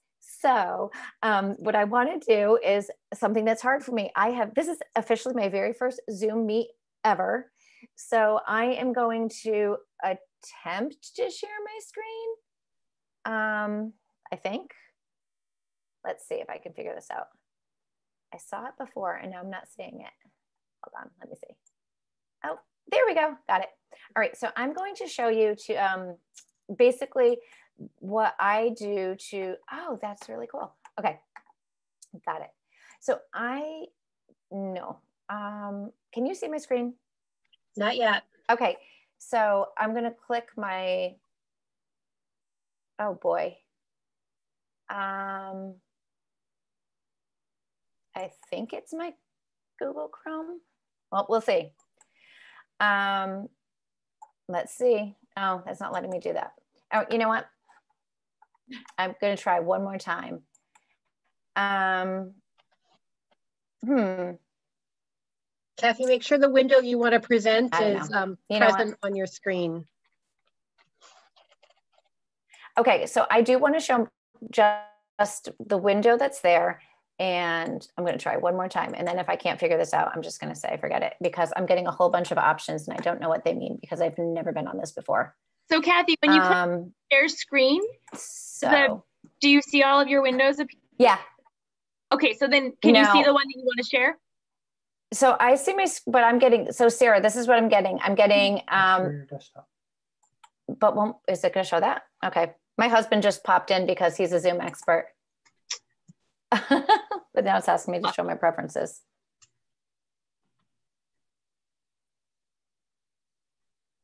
But this is real. This is what you guys do every day when you try a new software and a new program and the students do it on their end. Oh, yeah, I think my computer's too locked down.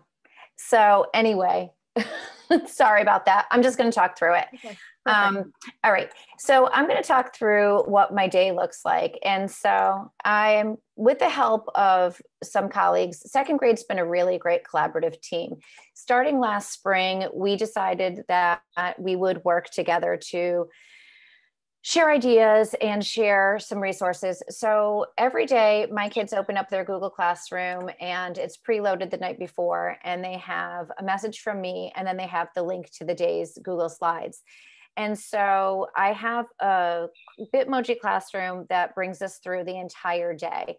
Um, starting from the moment kids come in and they have independent work time the children at home are expected to log on at the same time and then at 8.45 sorry i wish i could show you this but i guess i have my computer really locked down it won't let me share my screens um, i have icons just the google meet icon for the parents see the schedule of the day with all of the logons. It's the exact same slide. It's the same structure every day. So they know when kids need to log on. And at open house, I said to parents, since kids cannot tell time yet in second grade um, with an analog clock, they do have experience with a digital clock. And if we can work together to understand that the time on the digital clock is the exact same as on their computer screen, they can log themselves on once they are accustomed to our daily routine. And kids have been really great. There's a Google Meet icon on each slide when kids need to join the meet, and they just click it. They're in our meet, and I use the Chromebook to show my smartboard. And Sarah, I don't know what that um, really cool camera is that I'm piloting in my room, but Sarah Harris also brought a standalone camera for when I don't need my smartboard, for when I want to teach with the easel or do a read aloud. And all of my remote learners can see me, they can see the classroom, they can see some of their other kids. And the children in the classroom can see everybody else on the smartboard. So it's really nice for a great classroom conversation for read aloud, and it's it's amazing. Um, so what has been successful for me is um, the predictability of our second grade day. Primary students need the safety of a predictable day. And um, I have a block schedule that we follow. And what's really great is that they can see the teaching point on the slide, but then I have it linked to all of my lessons. So because of remote learning last year, we had to be really creative. And so um, I took all of my teaching lessons, all of my writer's workshop, all my reader's workshop, all my phonics lessons, and I created Google Slides presentations of all of them. And there's, because we can't give the kids their own pieces of, um, for instance, um, the phonics program, it is full of so many great hands-on resources. Well, we can't do that but we can project them onto the screen. We can scan them and put them into a Google slide presentation. And that's been really interactive. The other thing that has been the most amazing tool that I've used in my classroom has been the most low tech, inexpensive tool. And that is an individual whiteboard and a dry board eraser. We are using those for everything. We are using them for phonics. We're using them for problem solving in math the children are due they we do all have um, our own manipulatives. Every child has a huge ziploc full of all the manipulatives they need.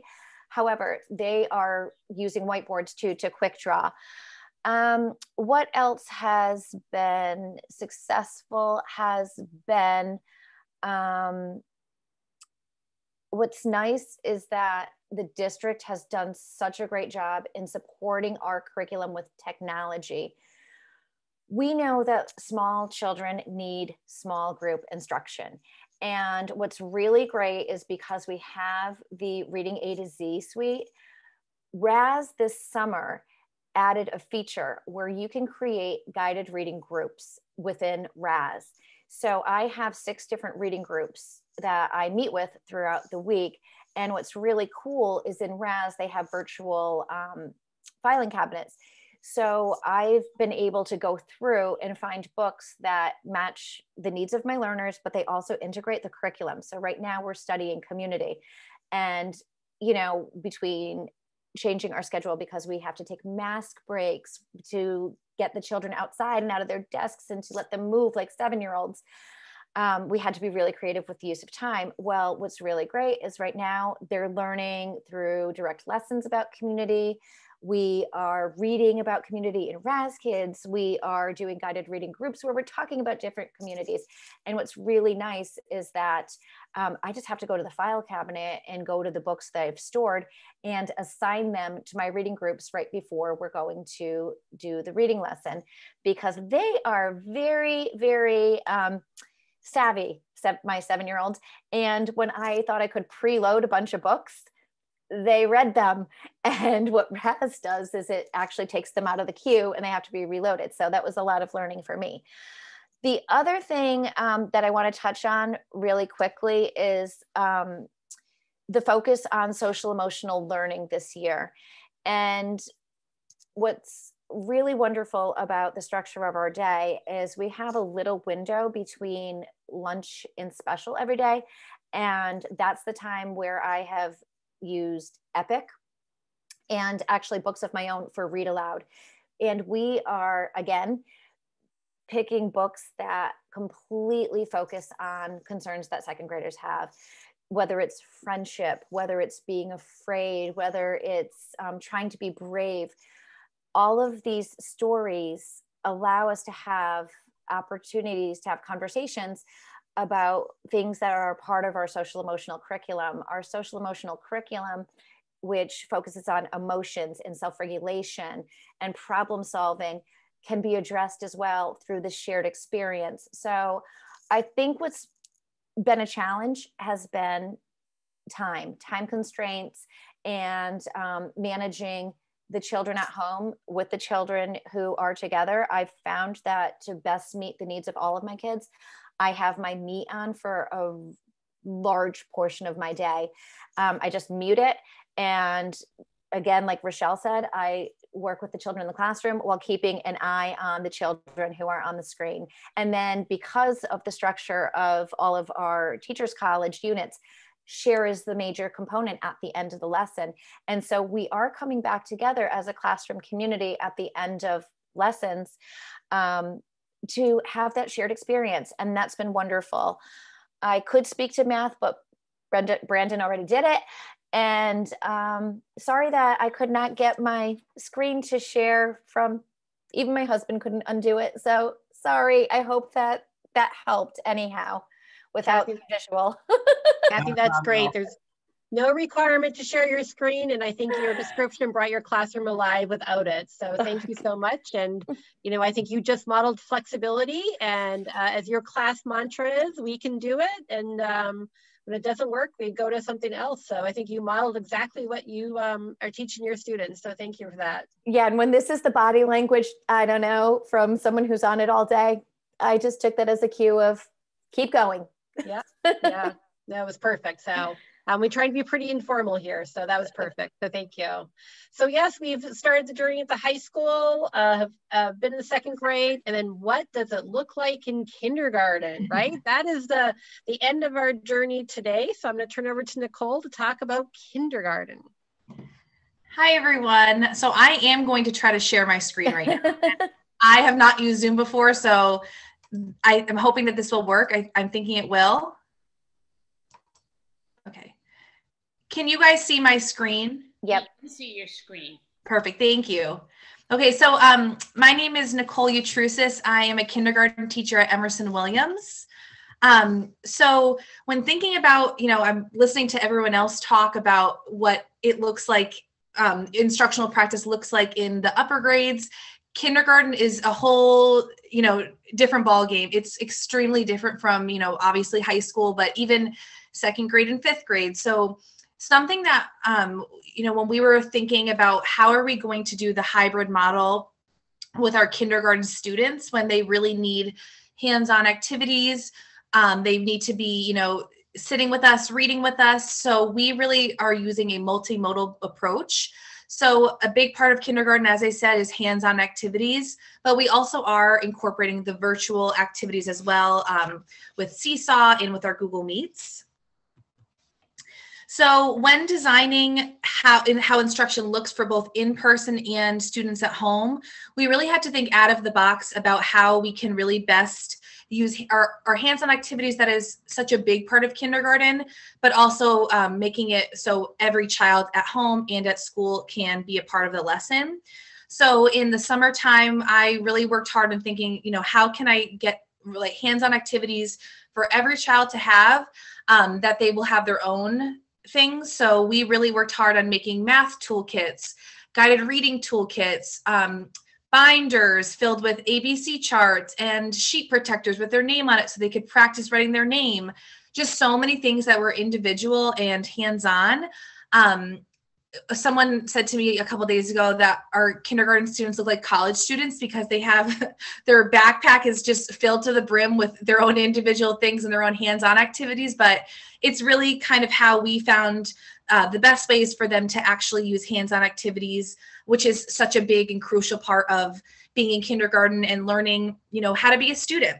So we worked again on these math toolkits and so an example of how i used hands-on activities plus virtual activities as an instructional approach in my kindergarten classroom is when we've learned the numbers. So after our math lesson, which is virtual, or sometimes even during the math lesson, which is um, via Google Meet, I give my students practice um, time to practice with hands-on techniques. Really, um, especially with learning numbers and with letters, they really need that time to do that. So in each child's math toolkit, they all have a 10 frame, um, counters, cubes. I have little erasers for them. I have really everything inside that math toolkit that they could use that is really hands-on. So using my doc cam, which I, we are so lucky to have a doc cam in our classroom because I am constantly showing and modeling um, things for the children under it, but I show them how to model um, you know how do i how do you make the number six? That's what we're learning about this week. How do you make the number six on a 10 frame?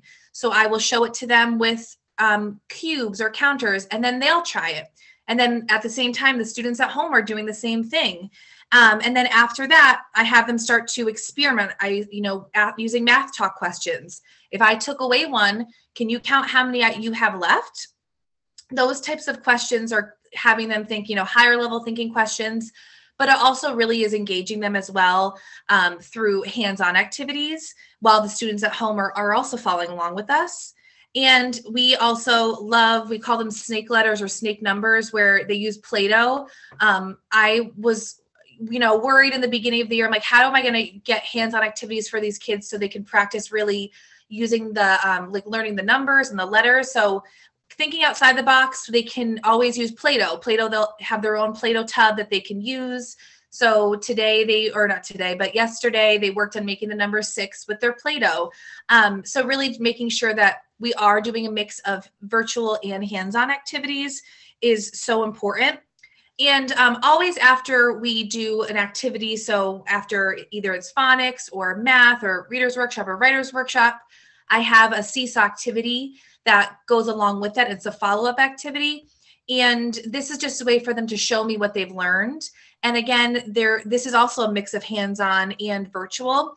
For reading, they send me a video like this. Um, yesterday, I had, you know, um, 21 kids sending me their videos of them reading a book and acting like the character. So there are definitely ways that we can also incorporate these, um, you know, the normal kindergarten things, but also just putting um, the, a virtual spin on it so that, you know, the kids at home can show me what they've learned as well.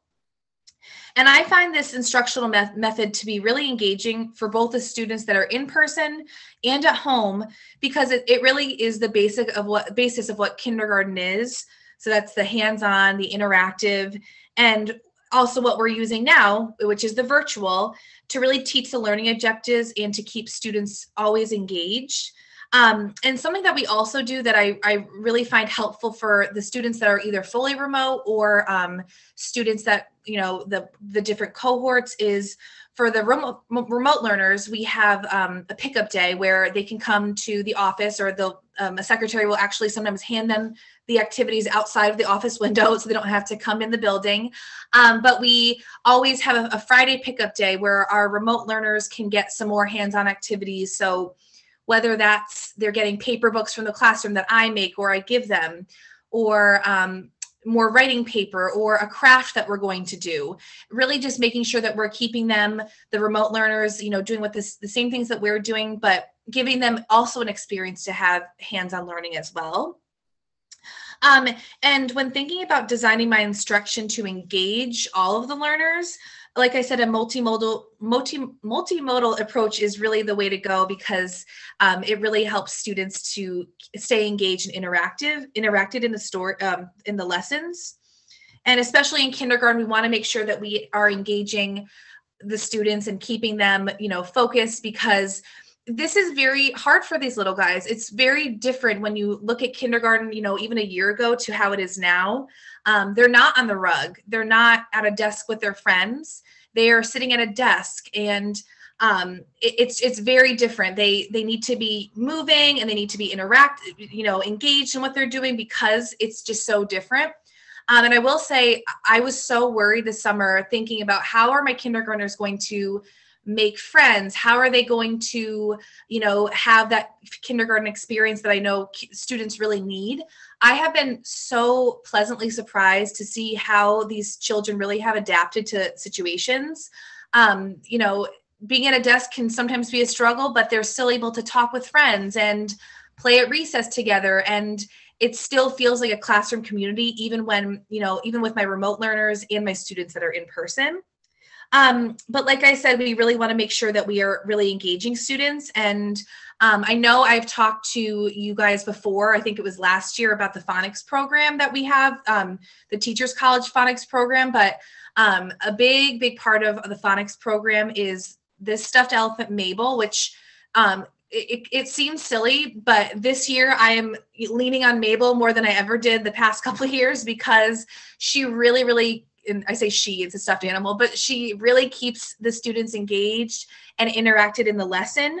Um, you know, she's a really big part of the phonics curriculum. Um, for example, Mabel likes to leave notes for the kids. Um, in the beginning of the year, when we were learning about keeping our mask on, I had a mask on Mabel and you know we would talk about keeping the mask over your nose and your mouth. So they really love this stuffed animal and it, I really try to incorporate it, it into almost every lesson that we do just because it really helps the students that are at home and the students that are in school feel connected to the classroom and they really love it. They think that Mabel is whispering in my ear about, you know, a lesson that we're about to do or that she's really leaving them notes. So it really does keep them interacted and engaged in, in what we're doing. So something that we do to really engage both in-person and remote learners is through the use of Seesaw. This is our learning platform platform. Um, the upper grades are using Google Classroom, but we're using Seesaw. And um, I'm really finding Seesaw to be very kid friendly. And um, it took a lot, a lot, a lot of modeling in the beginning of the year about how do you use Seesaw? How are you going to take a video or a picture on Seesaw? But they've really gotten the hang of it. And again, um, like I said, we're really mixing in that um, hands-on approach with the virtual approach. So for example, this activity was, um, I had given each of them a name, um, their name, kind of like that, where there was the directions about how to form the letters in their name. And they saw a picture of how Mabel spells her name. And then they had to try it too. And they, um, and they took a picture of it. So again, that's the mix of the virtual and the hands-on activities. Um, but like I said, keep keeping up with how to really engage both of my in-person and remote learners is really important and it does really help to create a positive learning environment. Um, right now we are finishing up well tomorrow we're finishing up with our parent teacher conferences.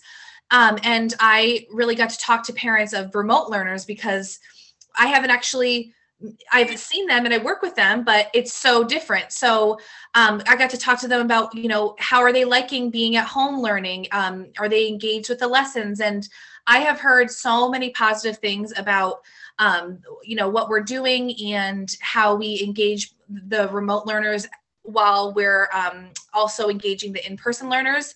I actually had a parent today tell me that I was a magician because he does not understand how I handle my kindergarteners that are in my room and also engage the students that are home and keep on top of technology and my lesson that's going on. So sometimes I do feel like a magician, but it's just nice to see that that the students that are at home are actually engaged and really do enjoy coming on to the Google Meets and doing the Seesaw activities um, and really just being a part of our classroom community. Um, and then for social emotional learning, this has really been such a huge part of our year this year, especially because a lot of, um, well, uh, almost all of them that were in preschool last year, they missed out on so many months of preschool, and preschool is really crucial for young children. So it was really important for us to, you know, have social emotional learning be a really important part of our classroom. So whether it's reading storybooks or we have a lot of talks about social emotional learning and you know, right now they don't really even know what a feeling is. So we're talking about what, you know, different types of feelings and what you can do when you feel that way. So we're really making it a huge part of our um, our classroom community.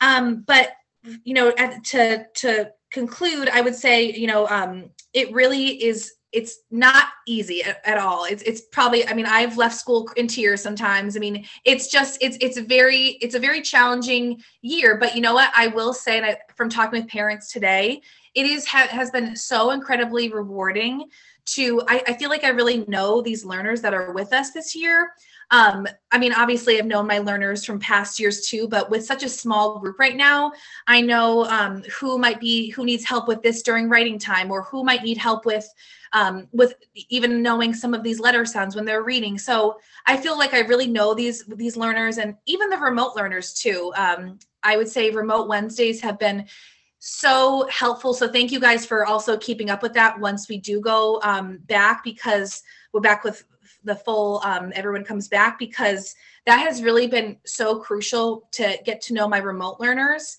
that I really, you know, I see them during the Google Meets and I but I I don't know them as well as I need to because I want to know, you know, and work with them and what they're struggling with. So that has really been very helpful, but I will definitely say this year has obviously had its challenges, but I have learned so much about as myself as a teacher. I've learned so much from these children. And I've also learned, as I said before, how resilient children are. And it has truly been, I, I think about it now and it like brings tears to my eyes that I was so worried over the summer about how will they do with a mask on? How will they be where they can't be right next to a friend?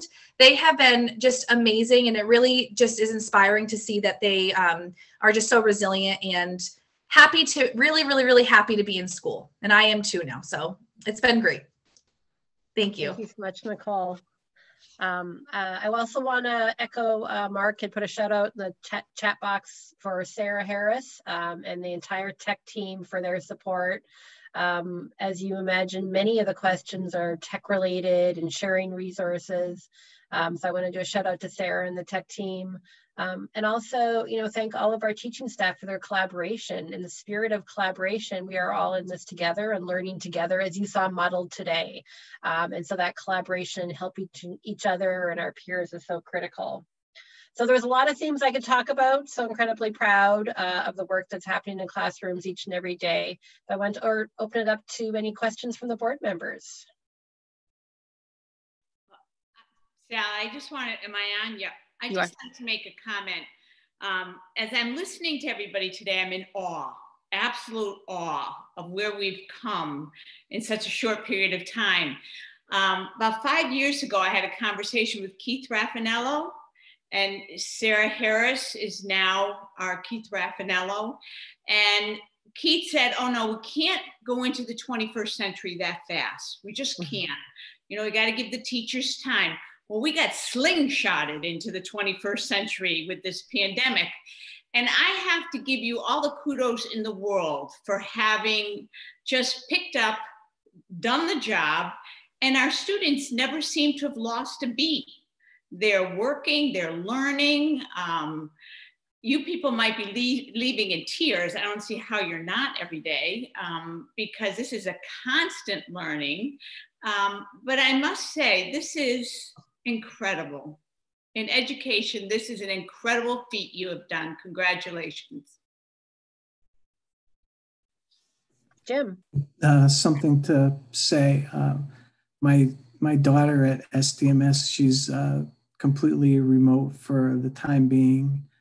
Um, I'm I'm just amazed that uh, I had no idea all this was was going on. So it's pretty impressive, and and you know I'm not thankful that there's a, a pandemic, but I'm hoping that that some of these things can be carried over even when when folks go back into the classroom uh, full time.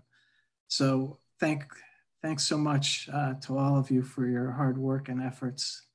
And very cute, Kelly.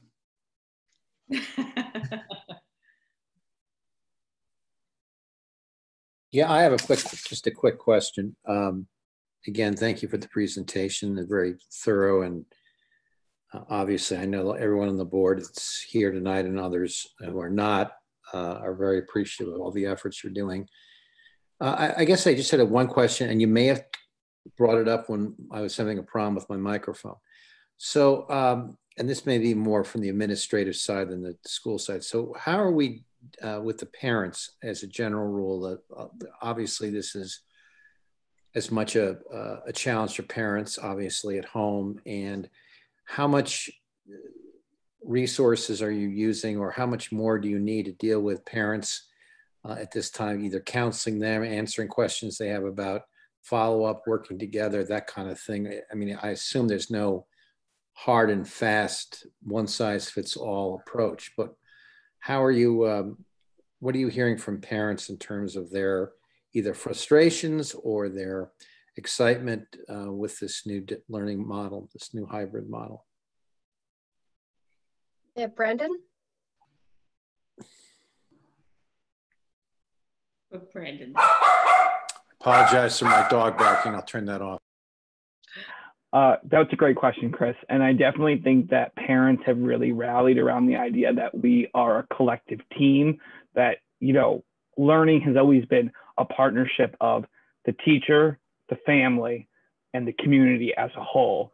And I think that partnership has been put into full spotlight now so when it comes to technology issues, Sarah Harris's team has been great about having an email uh, option where families can email them and reach out to coordinate if there's hardware problems or tech issues.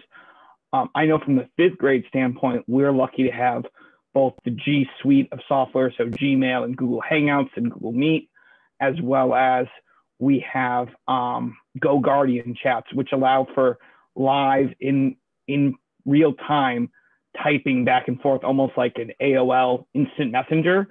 So that way, parents, if their kids are having a trouble with the computer, or even if the student is having a trouble, they can self advocate and ask for that assistance. And we can see the problems that they're having on the screen in real time. I think that really has helped to mitigate some of the technology issues, at least from the fifth grade standpoint. So do we have the do we have the resources to do that with a lot of our formatting, our our software to, to communicate with the parents, whether it's in real time there or as a follow up after a, a, a class is over? Maybe a parent says, "Oh, my kid just came to me about something, and I'm trying to follow up." I'm assuming we're doing all these things. I just want the public to know that we are, obviously, and that you know they should. Any parent should obviously feel that they can, and I know they do feel they can reach out. I, but I want to know from your perspective, do you have everything you need to kind of carry that out in terms of a technology background or resource background? Yeah, so um, Chris, we have a, a, tech support hotline for families who prefer a phone, um, and we also have a tech support email address. Um, and our families have been great about using those. Um, we have a number of different IT specialists um, who monitor those, as well as our one of our computer lab assistants from the high school who has been uh, really instrumental in working with families.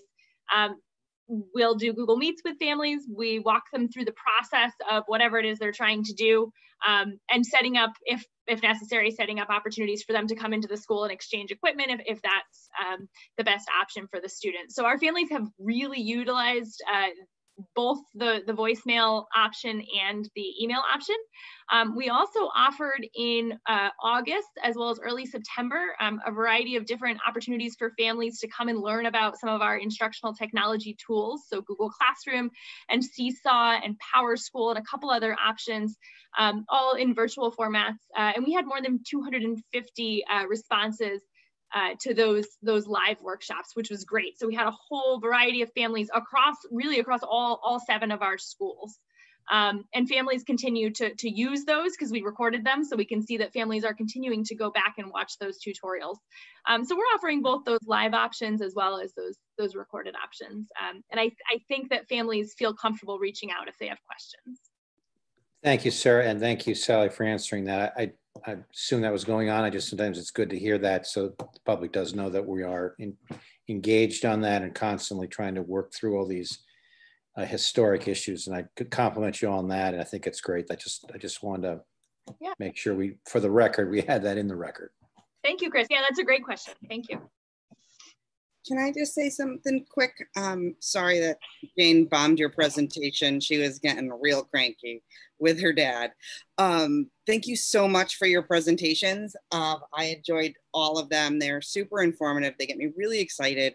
Um, I have two kids at Hanmer, and I've said a thousand times that I am in complete awe of what these teach, what their teachers are doing every day to keep them motivated and engaged. And it's just been unbelievable to watch. And I just thought it was super interesting to see how kind of SDMS is working and all the way up to the high school. It's making me really excited for all the cool things that um, my kids get to do. Who knew there was a film class at the high school? That's awesome. I wish that was there when I was there. Um, so I, uh, the only question I really have that we're we're moving into kind of a return back to full time and graded, and we're kind of getting that. Um, do you guys have any reservations? Do you have any big concerns as we're moving into that a full-time schedule rather than the hybrid? So I'll start, and then if somebody wants to jump in, I think there's a lot of questions. Um, when we started distance learning, there was a million questions, right? Somebody said when we the summer coming back to a hybrid model, there was a million questions. Um, I would say that everybody on here has a million questions about how does that impact the instructional model? How am I going to make it work, right? Um, and so those are the conversations that are occurring right now. Um, we look at health guidance, we look at our district priorities, and then we look to our teachers as experts in the classroom and what's working. Um, I think there's a, a strategy I'm seeing um, more and more, and that's talking about the past, the present, and the future. And what we're finding is it's, it's different, but it's like the past. And so you found teachers, or you heard teachers today talk about what they had done and, and similarly what they're doing, but it looks a little bit different. And so I think that um, I'm hearing and seeing a lot more themes around it is different, it's implemented different, it's planning different, but yet there's a lot of elements of what we used to do pre-pandemic that are so true today. Um, how we engage students, the importance of building relationships, um, supporting their social emotional development, developing their skills. We're doing it more through a screen, we're using a lot more technology. The way we set up process and procedures um, and give students feedback. Those are all elements of really good instruction um, that are still occurring, but they look differently. And so I think that we're definitely seeing a theme of kind of the past, the present, and the future maybe isn't as scary as we thought, but it is different. And um, I think the hard part is nobody has all those answers right now, right? Like we we're, we have a lot of questions and we're exploring a lot of things and talking a lot of things. Um, but I will tell you that the first day of uh, having students in the classroom this year was probably the most memorable day of my entire career. When I walked into a kindergarten classroom and the kindergarten teacher looked at me and said, they're all on the screen and it's working, right? That was probably like the best day of my entire career of a kindergarten teacher saying it's working. And that was day one. Um, you know, so there was so much hope and potential. Um, will be a day I never forget. So I'll um, open it up to teachers if you, you know, have other things you want to add on, but I think there's, you know, definitely more questions. And I think that's the hard part about everything right now is just like we settle into routine, then it changes and we have to figure it out and nobody knows all the answers. So Kelly, um, I am one of the kindergarten teachers at Emerson Williams. So for kindergarten, we're starting back with everyone coming back um, in less than two weeks. So this has been um, obviously a lot of teachers are thinking about it, but it's very much coming becoming a reality in less than two weeks with our kindergartners. Um, so although I am extremely happy because I know that these kids really need to be in school for, you know, longer than those two days. They thrive off of routine. Um, i am i'm definitely worried um, obviously like sally said there's a lot of questions but i'm definitely worried about um, not only you know obviously social distancing and everything like the the safety me- uh, measures of it but also um, just still keeping up with the google meets that we're doing with our remote learners. Um, right now i only have three remote learners and um, i'll have 18 children back in my classroom and um, i think that obviously this is very hard being a hybrid teacher and you know working with my students that are he- at school and at home. Um, but i really think that it's going to be very very difficult to you know manage my 18 children and also be engaging my three remote children. So um, that's kind of you know as a kindergarten teacher and since we're you know we're starting back in less than two weeks those are really my thoughts right now. Thank you to echo Nicole as a fifth grade teacher at Hanmer, and Kelly, you're probably very aware of this being a Hanmer family, uh, that we are blessed with a lot of space at Hanmer Elementary School, but I know that some other elementary schools in our district don't have as much space for that social distancing requirement. So I guess my reservation is, and it's a question, as Sally said, more questions than answers, is by losing, losing part of that social distancing mitigation strategy, how does that impact the spread? And with the way the data has been going state and national wise is this a dance that we're going to take one step in and then have to take two steps back oh.